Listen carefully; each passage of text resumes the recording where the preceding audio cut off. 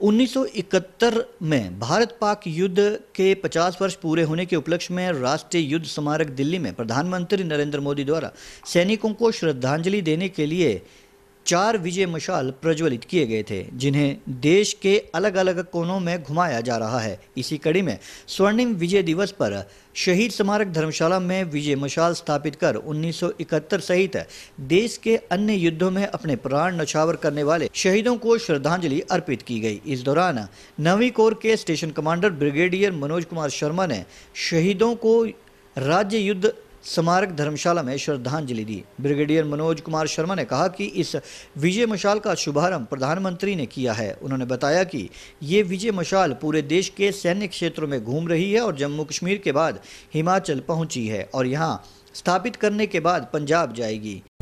शर्मा जी आज यहाँ किस लिए आए हैं आप? हम स्वर्णिम विजय दिवस के उपलक्ष्य पर अपने सभी जो हमारे योद्धा हैं जिन्होंने 1971 वॉर में अपनी जीवन देश के लिए निछावर किया है उनके सम्मान के अंदर उनके यहाँ पर हम आए हैं उनको श्रद्धांजलि देने के लिए।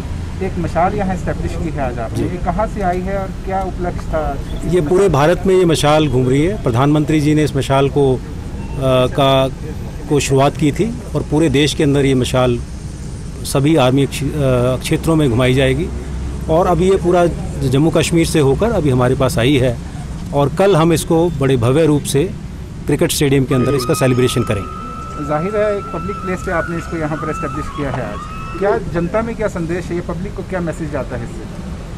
पब्लिक के लिए यही मैसेज है कि हमने जो भी आ, हमारे सेनानियों ने अपने देश के लिए अपना जीवन उछावर किया है अपनी देश की रक्षा के लिए देश के सम्मान के लिए देश का गौरव बढ़ाने के लिए और ऐसे ही सभी अपने जो सिविल नागरिक भी हैं वो भी अपने आप को मोटिवेट करें। हतोत्साहित करें कि हम भी देश के लिए कुछ ना कुछ करने की आवश्यकता है और करना चाहिए।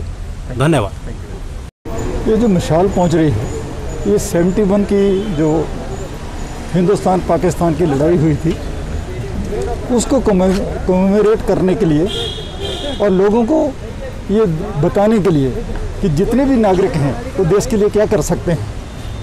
आज की युवा पीढ़ी जो है, उसका रुझान जो है आर्म्ड फोर्सेस की बजाय दूसरी तरह जगह ज़्यादा है। मैं एक सैनिक के रूप में भर्ती हुआ था और मैंने सेवेंटी वन की लड़ाई लड़ी है। मैं श्रीलंका में ऑपरेशन में रहा हूँ। मैंने कारगिल की लड़ाई लड़ी है और मैं बार बुंडुड़ भी हूँ। और इतना कि मैं तीन दिन तक बेहोश रहा हूँ।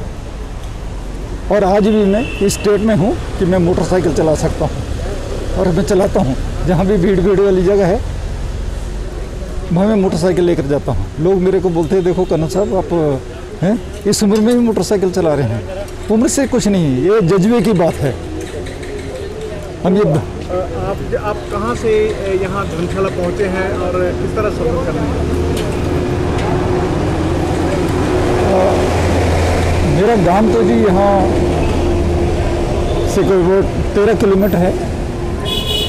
मैं थोड़े दिन जो प्राइमरी एजुकेशन है वो मेरी मटौर स्कूल में हुई है। उसके दो के साल मैंने कांगड़ा में पढ़ा, हूँ। उसके बाद मैं धर्मशाला में भी पढ़ा हूँ। और मैंने जब मैं धर्मशाला में पढ़ा हूँ तो मैंने सिर्फ़ एक साल पढ़ाई की कॉलेज में। ठीक है? और मेरा धर्मशाला के साथ बहुत लगाव है, क्योंकि इसी जगह से हम उठे हैं। और इसी जगह अभी यहाँ के धर्मशाला के जितने एन जी मैं लगभग सभी का मेंबर हूँ। सर 1971 की लड़ाई में आपने जो है वो भाग लिया है और आज और 1971 को किस तरह देखते हैं और कितना जो बदलाव है उसे देखते हैं? जो कतर की लड़ाई थी उस टाइम जो था कंडीशन जो है फाइटिंग कंडीशन जो है वॉर कंडीशन जो बहुत डिफरेंट थी। कतर की लड़ाई दिसंबर में हुई थी। और उसमें हिंदुस्तान आर्मी ने कोई सैंतीस हज़ार सैनिक जो है आ, अपने वीरगति को प्राप्त हुए। लेकिन दूसरी साइड जब हमने बंगला ईस्ट पाकिस्तान को जो पाकिस्तान का ईस्टर्न विंग था उसको लग किया है तो हम 93,000 पाकिस्तानी सोल्जर्स को बंदी बना कर ले आए थे। और उस टाइम जो वहाँ के जो कमांडर थे